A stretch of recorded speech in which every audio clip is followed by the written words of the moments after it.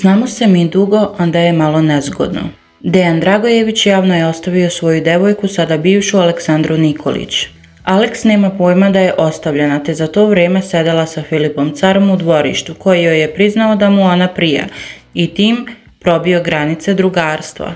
Ako ti neko kenja radi mene, da se ti ne družiš sa nekim radi mene, da ti neko radi, mene drži pritisak, da osjetim teret da je zbog mene, pa za stolom da krenem blatiti, rekao je car. Nema potrebe da to radiš, meni nisi ništa loše uradio da bi bježala od tebe, dodala je Alex. Znamo se mi dugo, onda je malo nezgodno. Malo sam zbunjen, iskreno da ti kažem. Bio bi ok sa tobom jer bi se družio sa tobom. To mi odgovara i prija. Sa druge strane ne znam kako bi to odbranio. Znam kako će nas na to gledati.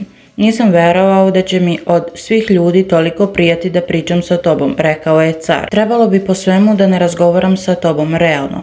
Ma tebi je leglo ove godine. Koji ti teret imaš, dodala je Alex.